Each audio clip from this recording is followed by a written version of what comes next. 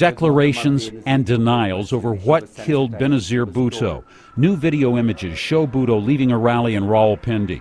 She's standing upright through the open sunroof of her armored car. And a gun is seen in the hand of someone who's clambered aboard on the left rear bumper.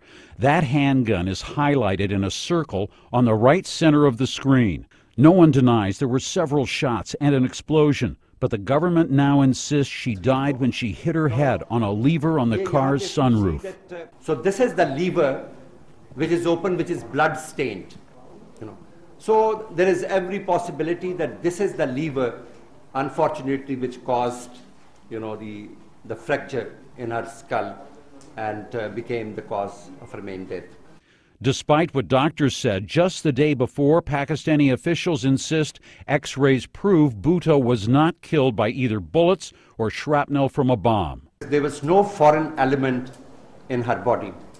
So henceforth, there should be no ambiguity that, uh, you know, she died because of the bullet uh, hit, or she died because of a pellet, or because of a splinter. But a senior member of Bhutto's Pakistan People's Party is branding the government account a pack of lies, charging there was not only the gunman on the car and the suicide bomb, but a sniper on a nearby building. They have changed their stance, they have changed their point of view today. Now they have come up with a different stance. As the cause of death is debated, Pakistani officials say there is hard evidence who was behind Bhutto's murder. We have intelligence intercepts indicating that Al Qaeda leader Baitullah Mahsoud is behind her assassination. We just have an intelligence intercept that was recorded this morning in which Baitullah Mahsoud has congratulated his people. A transcript released by Pakistani authorities shows this exchange.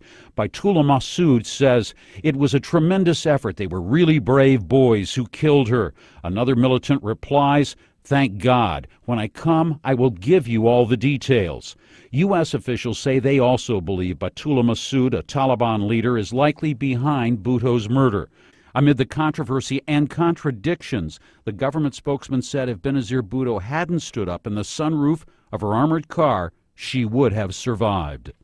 I wish she had not come out of the rooftop of her vehicle. Perhaps she could have been saved. The real story, told by the videos and photos, is that Benazir Bhutto had no serious security around her motorcade. Eyewitnesses told CNN anyone could and did easily approach in the moments before her assassination.